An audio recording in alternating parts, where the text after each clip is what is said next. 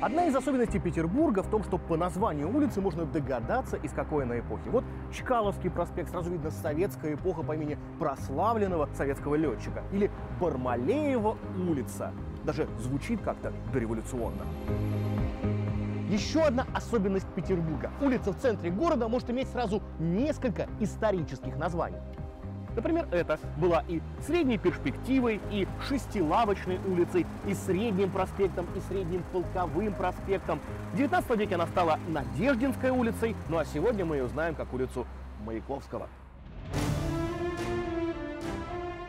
Первые названия петербургских улиц были исключительно народными. Главный принцип «где что находится, то так и называется». Историк Андрей Рыжков поясняет, часто у улицы было два названия – официальное и народное. Причем народное чаще всего и приживалось. Домовладелец наиболее, допустим, заметного здания на этой улице.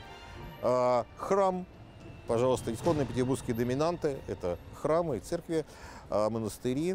Как противовес, пожалуйста, другой центр народного притяжения – питейные дома, которые очень были популярны сейчас на петербургской тогдашней стороне, нынешней Петроградской. Первая успешная попытка официального утверждения топонимов сделана только в середине 19 века. За основу взяли географический принцип. В Нарской части, например, появляются топонимы, образованные от прибалтийских земель. Лифлянская, Курлянская, Рижский проспект. Выборгской – финских, Гельсингфорская, Выборгская улицы. В Александро-Невской – украинских, Миргородская, Кременчугская, Харьковская, Полтавская.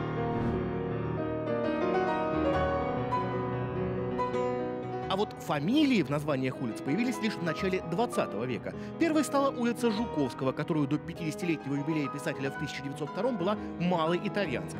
Но особый размах это явление приобрело после Октябрьской революции.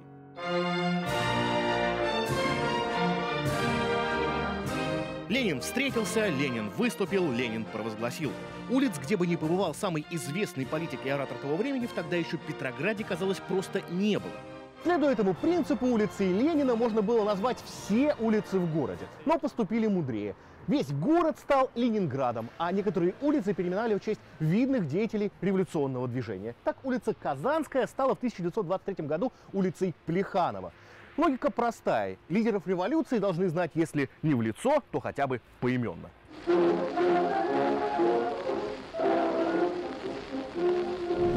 Даже Дворцовая площадь стала площадью Моисея Урицкого. Адмиралтейская набережная – набережная Рошаля, Шпалерная – улицей Воинова, Невский проспект – проспектом 25 октября, а Садовая – улицей 3 июля. Сегодня эти даты и фамилии мало что скажут молодому поколению.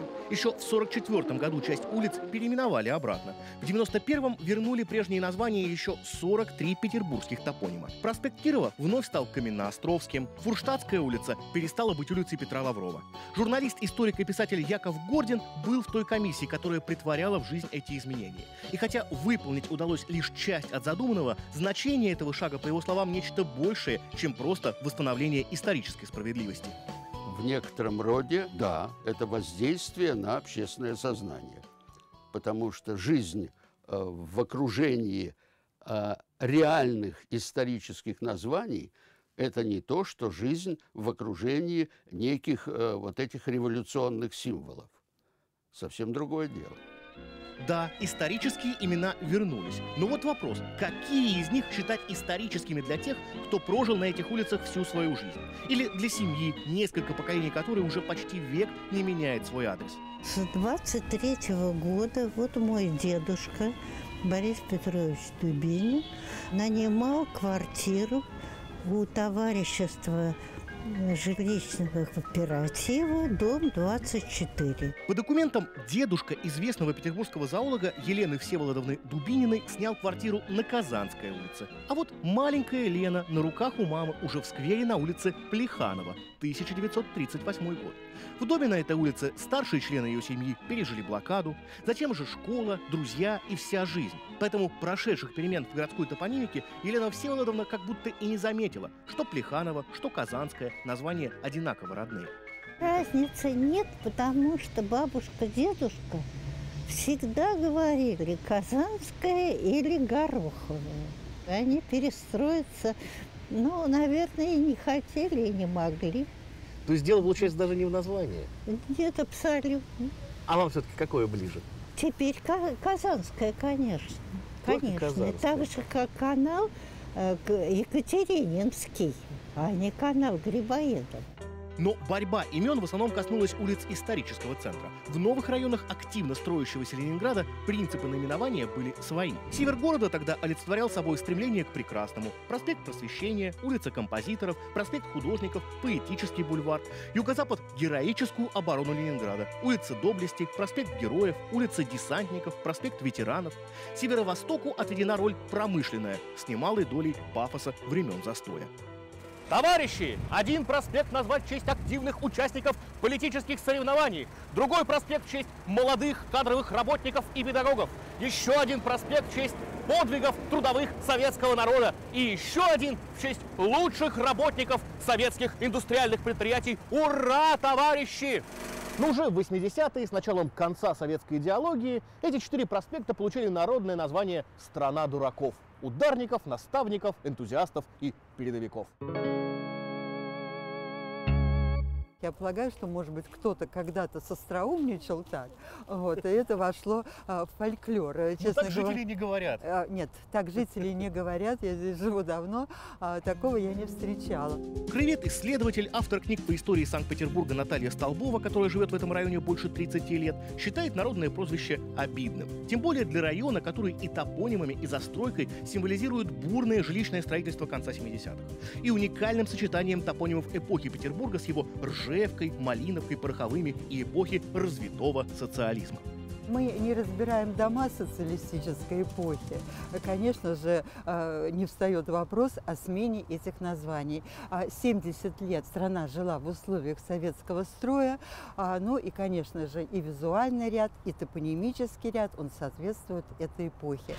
А это уже наша эпоха, по которой историки будущего начнут изучать Петербург 21 века. И вот для них топонимическая загадка. Морская набережная на Васильевском острове есть, а никакого берега рядом нет. Вместо него намыв, где дома и адреса появились раньше, чем сами улицы, и где даже с опытным ветераном петербургской топонимики Алексеем Ерофеевым ориентироваться можно только по навигатору.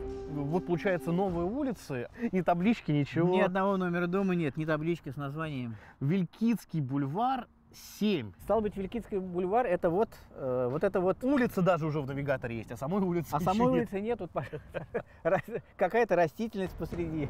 Вот это песчаная степь с молодыми соснами, будущий проспект Крузенштерна. Холмы вдалеке задел под будущую набережную Миклуха-Маклая. Все принятые топонимической комиссией названия связаны с морской тематикой. Ученые, писатели, первооткрыватели. В этом главный принцип современной топонимики. Улица не просто место в пространстве и не ориентир, а символ и память. Название улиц в любом городе, не только в Петербурге, они э, делают лицо городу. Потому что мы говорим Невский проспект, понимаем, что речь идет о Петербурге. Поэтому у каждого города должно быть свое лицо, в частности, не только в архитектуре, но и э, в топонимике. Поэтому можно не сомневаться, улицы города отражают его историю. Название имперского Петербурга соседствуют с революционным Петроградом, а чуть поодаль индустриальный Ленинград с мегаполисом 21 века. Да, название улицы можно сменить, но история, которая за ним стоит, останется. Ведь именно из таких историй прошлого и состоит Петербург настоящего. Антон Цумов. Пульс города.